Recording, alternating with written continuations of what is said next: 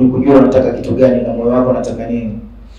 Uh, kama unataka kuwa mwanamuziki, unataka kuwa mchezaji, unataka kuwa mwalimu, unataka kuwa daktari, kujua unataka nini na kuamini katika ndoto yako.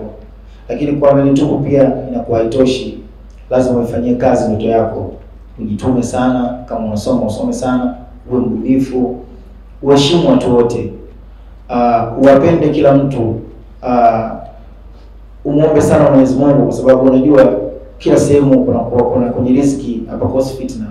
Kila sehemu ambayo kuna kazi fulani na special ikianza kufanikiwa pia kila mtu naye anafanya biashara na haizuiliwi. So kumwomba Mwenyezi Mungu na kuongeza juhudi, kuto kukata tamaa, kwa sababu ili ufanikiwe lazima ufanye kazi kwa juhudi kwelikweli na upambane sana. Kwa hiyo ukiwa mrahisi kuchoka hauwezi kufanikiwa.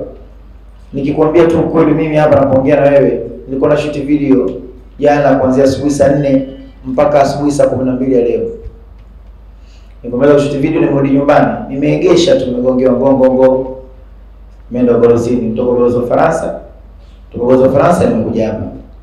Yaani hapa nikivua miwani, macho yangu ukimtazama hapa kama nimevuta bange, yaani mekundu kwa sababu sijalala, kwa sababu ya kazi nafanya sana. Kwa hiyo maana vijana wenzangu pia uko ajilishi uko katika step gani, ajilishi uko katika kazi gani, kwenye hatua gani, ila endelea kufanya kazi kwa bidii. Ile kazi unayofanya ndio itakupandisha wewe daraja kila siku na kila siku, lakini pia kuwa na nidhamu na kukumbuka sehemu uliotoka na kukumbuka na kuheshimu watu ambao wanakuwezesha, kwa sababu mimi singeweza kufika hapa bila meneja yangu hapa Salaam, bila Daktari, bila Mkubwa Fela na nyinyi wa Tanzania, nyinyi mashabiki zangu.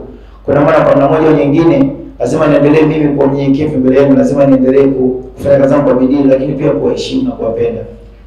Uh, so hicho ninaweza kufanya mtu kafika mbali. Naamini kila kijana Mwenyezi Mungu amwandikia kila mwanadamu kaandikiwa fungu lake katika maisha, na hakuna mtu anaweza akakushusha au hakuna mtu anaweza akakukosesha riziki yako kama ameandika Mwenyezi Mungu. Cha muhimu tu fanya kazi kwa bidii, muombe sana Mwenyezi Mungu, jitume, kwa mbunifu, mpende kila mtu na jitahidi sana kwenye maisha. Usikubali kuwa wewe ndio chanzo kwa tatizo lolote. Jitahidi kuwa positive. Hata kama tatizo linakuja, mtu anakuletea tatizo, mwache yeye aanze tatizo, usiwe wewe kuwa chanzo cha tatizo. Hapana, ishi katika positive way na Mungu atakusaidia.